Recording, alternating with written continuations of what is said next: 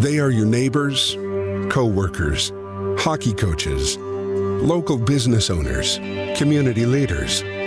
These are your local Green Party candidates, working hard to make a difference in your community, standing up for what's right, and committed to making Canada a better place for all of us to live and work.